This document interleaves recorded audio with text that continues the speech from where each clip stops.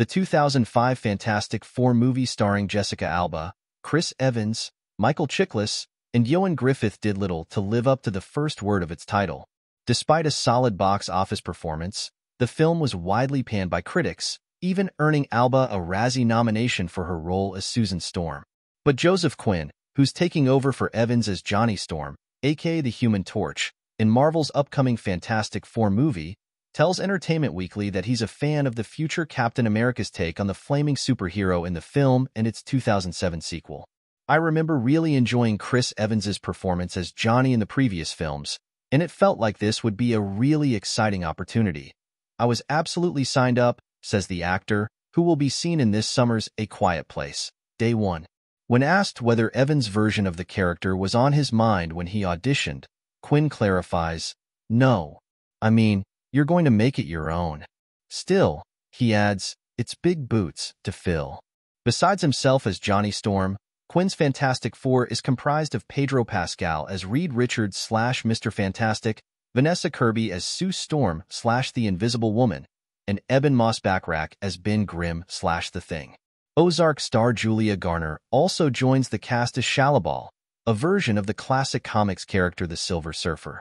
I knew that they'd been talking about making the Fantastic Four in the Marvel Universe for a while, Quinn says. I had a talk with director Matt Shakman, and it was very clear with the kind of people who they were attaching to it what they were trying to do with it.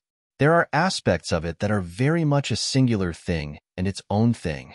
For Quinn, appearing alongside that all-star cast was an important factor in taking on the role.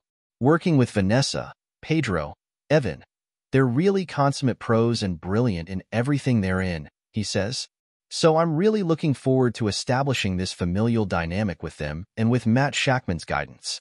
Just as that familial aspect of the story drew Quinn to the role, he hopes it will also attract audiences who might be growing tired of the genre. With lukewarm responses to recent Marvel offerings like The Marvels and Ant-Man and the Wasp, Quantumania, critics have wondered if audiences are experiencing so-called superhero fatigue.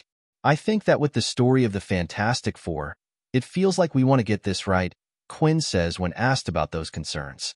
There are aspects of it that are very different to other Marvel films. That felt very compelling to me. And again, going back to who's involved, Matt, of course, the director, I think is brilliant, and the cast, and I've read it, and the script is brilliant. It's really brilliant. I'm delighted to have this opportunity. He adds, superhero movies are movies about people. And if we're invested in the people and the characters and the peril and the spectacle, then that's why people go to the theaters to watch films. We're not just in a penny. We're in for a pound with this one. We're going to go for it.